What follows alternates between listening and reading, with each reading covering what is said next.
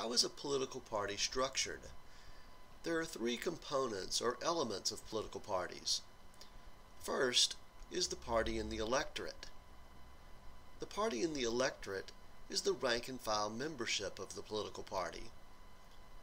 In American politics, however, party membership is very loosely defined. One becomes a member of one political party or another simply by associating himself or herself with a party and perhaps by voting for its candidates.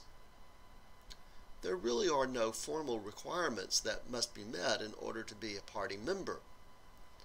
Most simply, the party in the electorate consists of voters who vote for the party's candidates at any particular time.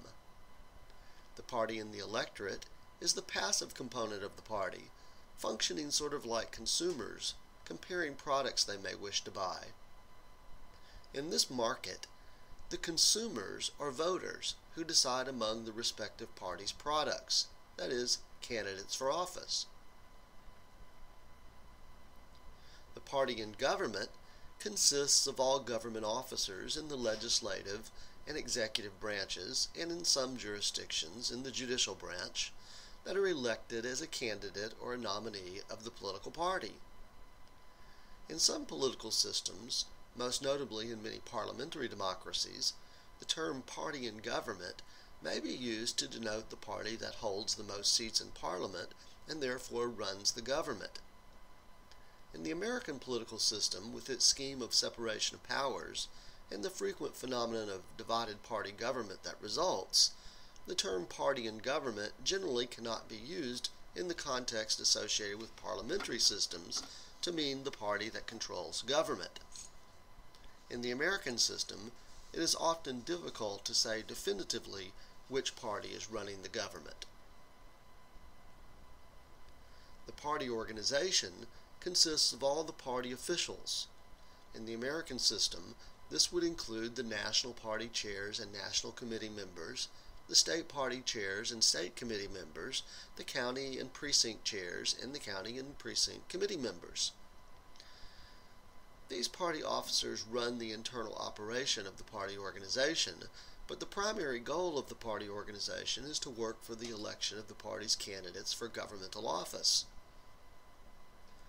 We have established that the party in the electorate is the most passive component of the party and functions in a sort of consumer role. The party organization works to sell the party's wares to the electorate. In theory, the party organization exercises some degree of leverage over the party and government, ensuring that elected officials carry out the platform that has been devised by the rank and file.